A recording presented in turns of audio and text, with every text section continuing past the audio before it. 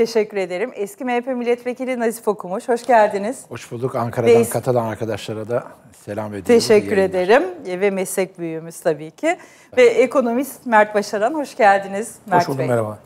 Evet, e, pazar günü AKP adayını açıkladı. Aslında cumartesi akşamı enteresan biçimde hiç AKP'de olmadığı şekilde biz adayı öğrenmiş olduk. Ekrem İmamoğlu 2019'daki e, yerel seçim başarısını 2024'te sürdürebilecek mi?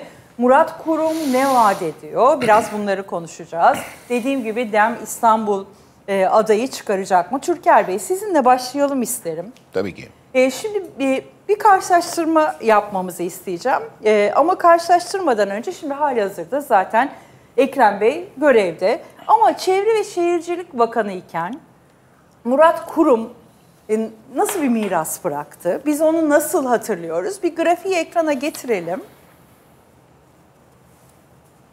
Evet, şimdi öncelikle bakanlığı döneminde imar affını çıkardı. 317 bin bina kaçak yapı olmaktan çıkarıldı.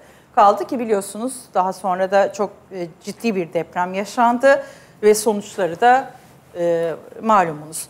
Doğal sit sürdürülebilir koruma ve kontrollü alan olarak kayıtlı olan Muğla, Bodrum'daki cennet koyu yapılaşmaya teslim edildi. Çok tartışıldı. Yine tartışılan yerlerden biri Milas'taki Akbelen Ormanı'nın 740 dönümü maden uğruna kurban edildi. Türkiye'nin en önemli doğal güzelliklerinden Salda Gölü'ne dozerlerle girilmesi gündeme geldi. Salda Gölü kıyısında halk plajı, tabiat parkı ve millet bahçesi projesi bulunuyor ve İstanbul'da bulunan birinci derece sit alanı olan Aydos Ormanı 500 araçlık otopark yapmak için yok ediliyor. Ormanın batısında bulunan ve yıllardır vatandaşların yürüyüş yaptığı yollarda artık ücretli. Ee, en önemlilerini seçtik, en çok tartışılanları seçtik. Epey bir e, icraat var aslında. Eğer icraat dersek tırnak içinde icraat diyebiliriz herhalde. Ne dersiniz? Şimdi... Neden Murat Kurum? Yani AKP hep şu söyleniyor ya AKP aday bulmakta zorlanıyor. Birçok şehir, birçok e, ilçe her anlamda aday bulmakta zorlanıyor. Neden Murat Kurum? Şimdi özellikle İstanbul'da derslerine çok iyi çalıştılar. Yani kamuoyu yoklamalarıyla neredeyse haftada iki defa kamuoyu yoklaması yapıyorlardı ve Ekrem Bey'in karşısına çeşitli alternatifler çıkarıyorlardı. Evet.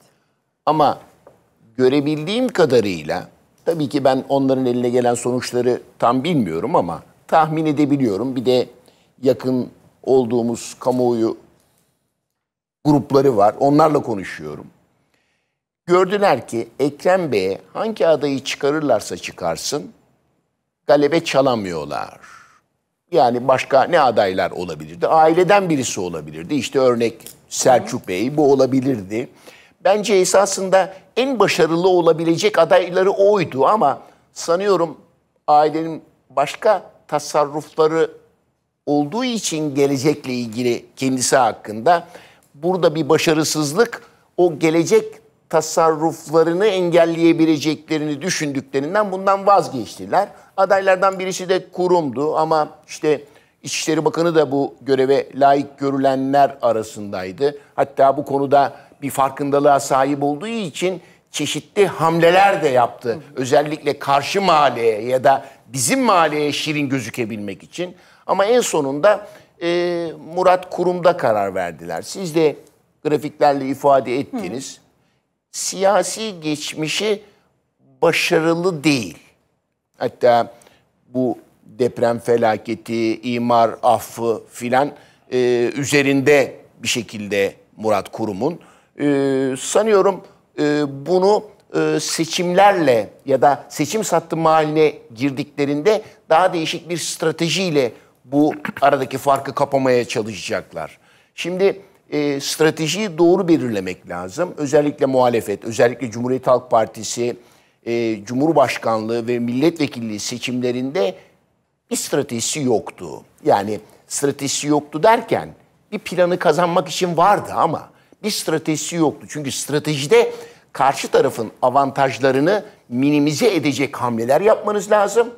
ve kendi avantajlarınızı bir şekilde maksimize etmeniz lazım.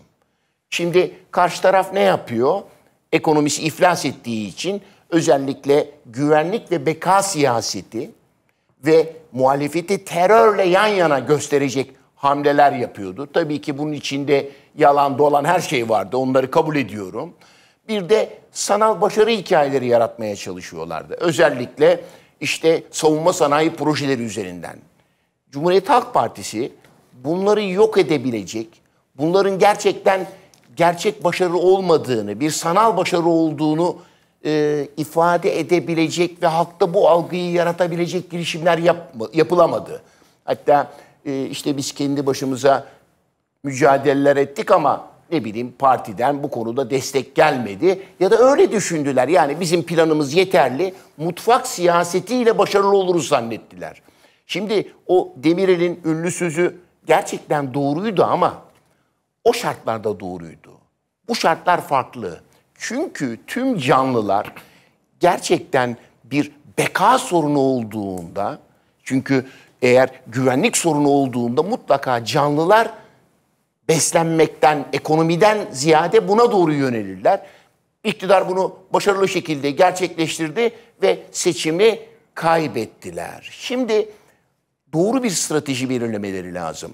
Öncelikle doğru adaylar, evet İstanbul için doğru adaydır Ekrem Bey ama şimdi iktidarın başka düşünceleri ve planları var. İktidar şöyle düşünüyor. Ben bu seçimi kazanamasam bile mecliste güçlü olayım. Çünkü Ekrem Bey'in hakkındaki hukuki süreci şu anda bir şekilde askıda. Türkiye'de hukukun olmadığını, Türkiye'de hukukun bir şekilde yargının yönlendirildiğini herkes biliyor. Sanıyorum seçimi kazandıktan sonra bunu tekrar devreye sokmayı düşünecekler. Onun için muhalefet, onun için Cumhuriyet Halk Partisi öyle iyi adaylar çıkarmalı ki ilçelerde de. Eğer Ekrem Bey bize yeter. Meclisi güçlendirmek. İlçelerde, ilçelerde Ekrem Bey'e sadakat duyan bizim adamlarımız olsun yaklaşımıyla belirlenebilecek ilçe adayları ne olur biliyor musunuz? Belki Ekrem Bey yine kazanır ama mecliste zayıf duruma düşünülür. Bu da iktidarın daha sonraki hamleyle birlikte Ekrem Bey'i görevden aldığında ne olur? Bir şekilde AK Parti'ye geçebilir. Onun için güvenlik ve beka siyasetini önceleyecek. Çünkü şimdi en Toparlayalım diğer konuklarıma. Bu Toparlıyorum. bıraktığınız yerden devam edeceğiz. Şimdi ilk akla gelen şu. Ekrem Bey'in rakibi kim? Murat Kurum mu? Tayyip Erdoğan mı? Ekrem Bey zaten Tayyip Erdoğan diyor biliyorsunuz. Tabii ki. Bakınız tek adam rejimlerinde, otoriter rejimlerinde kimin bakan olduğunun, kimin milletvekili olduğunun, kimin yerel yönetimlerde başkan olduğunun hiç önemi yoktur. Sadece üslup fark eder. Onun için tabii ki e, siyasi geçmişini kullanarak Murat Kurum'u itibarsızlaştırabilir. Yani bunun başarılı olmadığı siyasetçisini ön plana alabilir Ekrem Bey ve Cumhuriyet Halk Partisi. Ama bilmeli ki hedef Recep Tayyip Erdoğan'dır. Ona göre bir strateji belirlemeli ve onun yerel seçimlerde 3 aşağı 5 yukarı aynı stratejiyi uygulayacaklar. Buna karşı hamlelerini başarılı değildi, yanlış işler yapmışlardı. Umarım ders çıkarmışlardır. Bu hamleleri yapabilirler. Evet.